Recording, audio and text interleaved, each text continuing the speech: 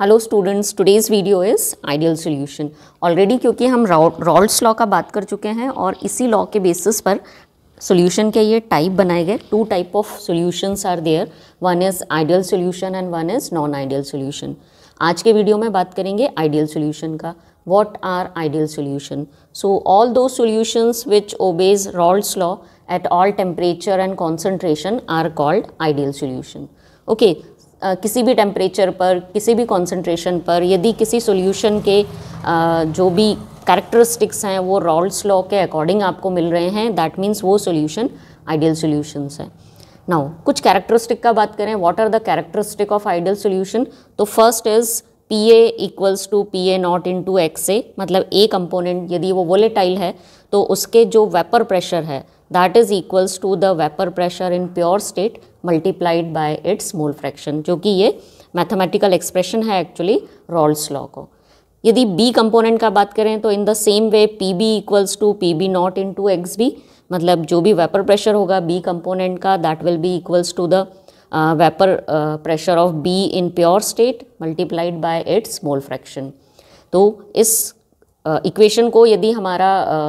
जो सोल्यूशन है, वो ऑल टेम्परेचर एंड कॉन्सेंट्रेशन पर फॉलो करता है तो उस सोल्यूशन को हम कहेंगे आइडियल सोल्यूशन कुछ और प्रॉपर्टीज़ का यदि बात करें तो नेक्स्ट प्रॉपर्टी है del H means enthalpy chain change on mixing जब आप ए और बी कंपोनेंट को मिक्स कर कर सोल्यूशन बनाएँगे and if it is ideal solution then del H on mixing will be zero मतलब there is no enthalpy change means there is no heat absorb और release during the preparation और during the mixing of A and B components तो solution बनाते समय ना तो heat absorb होगी, ना तो हीट रिलीज़ होगी। मतलब कोई भी एंथेल्पी चेंज सॉल्यूशन बनते समय नहीं होगा। नेक्स्ट जो कैरेक्टरिस्टिक है del V mix will be also equals to zero means आप जो भी वॉल्यूम ऑफ़ सॉल्वेंट होगा प्लस वॉल्यूम ऑफ़ सॉल्यूट होगा उतना ही सॉल्यूशन का वॉल्यूम बनने वाला है। मतलब आप जितना सॉल्वेंट लेंगे और जितना सॉल्यूट लेंगे, उसी के बराबर सॉल्यूशन का वॉल्यूम होगा। So there is no volume change on mixing of A and B component then it is ideal solution तो आइडियल सोल्यूशन बनते समय ना तो हीट एब्जॉर्ब और रिलीज़ होगी और ना ही वॉल्यूम में कोई चेंज आएगा। It will be equals to the sum of volume of solvent plus volume of solution next जो कैरेक्टरिस्टिक है हमारे आइडियल सोल्यूशन का कि no chemical reaction between solute and solvent molecule एक आइडियल सोल्यूशन तभी बनेगा जब सॉल्यूट और सॉल्वेंट एक दूसरे से केमिकली रिएक्ट ना करें। यदि इनके बीच में कोई केमिकल रिएक्शन होती है तो it will not result in the formation of ideal solution next यदि ये कैरेक्टरिस्टिक तो नहीं बट एक आपको ट्रिक बताऊँ कि आप कैसे फाइंड करेंगे कि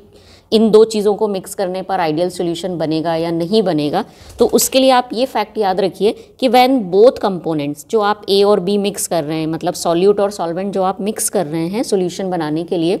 when both components are similar in their molecular size their structure and their intermolecular forces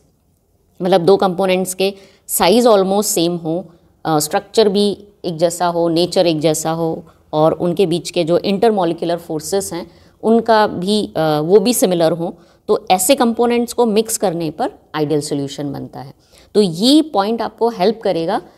ये बताने में कि कौन से दो कंपोनेंट्स को मिक्स करने पर आइडियल सोल्यूशन बनेगा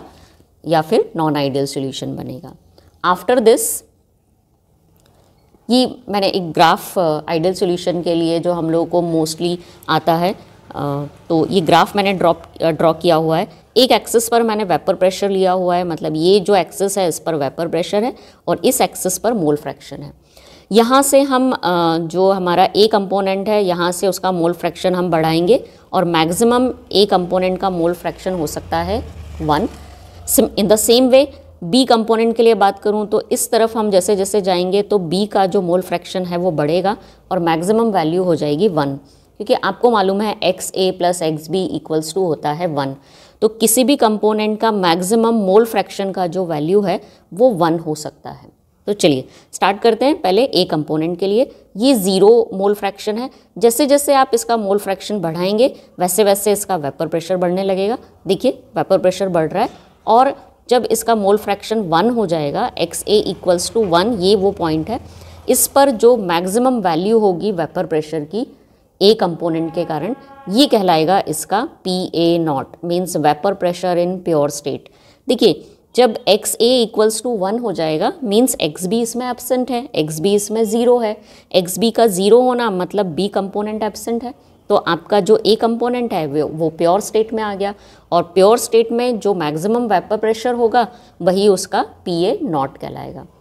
सिमिलरली बी कंपोनेंट के लिए यदि हम ग्राफ प्लॉट करें between vapour pressure and mole fraction जैसे जैसे आप बी का मोल फ्रैक्शन बढ़ाते जाएँगे, वैसे वैसे इसका वेपर प्रेशर बढ़ेगा और एक मैक्सिमम वैल्यू इसमें हमको मिलेगी। ये मैक्सिमम वैल्यू हमको मिलेगी जब हमारा एक्स बी इक्वल्स टू होगा वन मतलब ए कंपोनेंट नेग्लिजिबल अमाउंट में प्रेजेंट होगा या यूँ कहें कि ए कंपोनेंट एबसेंट होगा। तो इस टाइम पर जो वेपर प्रेशर जो मैक्सिमम वेपर प्रेशर हमको मिलेगा, वो डिनोट किया जाएगा पी बी नॉट से। So this is P A not and this is P B not pure state में वेपर प्रेशर बी कंपोनेंट का प्योर स्टेट में वेपर प्रेशर ए कंपोनेंट का।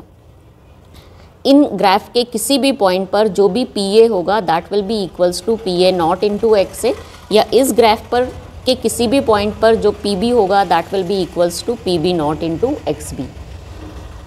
ये दो पॉइंट्स मैंने ज्वाइन किए हुए हैं। ये जो लाइन है, ये सॉल्यूशन के वेपर प्रेशर को बता रही है मींस पी टोटल को डिनोट कर रही है। And P total will be equals to P A plus P B so this is the vapour pressure of solution having both A and B component which are volatile so this is the graph for ideal solution now some examples of ideal solution, ऐसे कौन से component हैं जिनको mix करने पर आपको ideal solution मिलेगा? तो जैसे आप क्लोरो इथेन और ब्रोमो इथेन को मिक्स करें you will get ideal solution दोनों का स्ट्रक्चर ऑलमोस्ट सेम है नेचर ऑलमोस्ट सेम है इंटरमोलिकुलर फोर्सेस भी ऑलमोस्ट सेम है. तो इन दो को यदि आप मिक्स करते हैं it will result in ideal solution in the same way N hexane और एन हेप्टेन यदि आप मिक्स करेंगे you will get ideal solution similarly benzene और टोलोन टोलोइन को यदि आप मिक्स करते हैं it will result in the formation of ideal solution chlorobenzene and bromobenzene यदि आप मिक्स करते हैं it will also result in formation of ideal solution तो आई होप आइडियल सोल्यूशन का जो कंसेप्ट है, वो अब आपको क्लियर हो गया होगा. नेक्स्ट वीडियो में हम बात करेंगे नॉन आइडियल सोल्यूशन की.